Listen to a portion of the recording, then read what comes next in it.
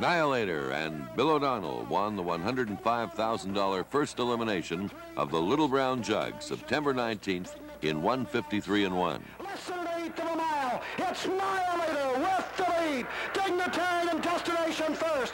His first division is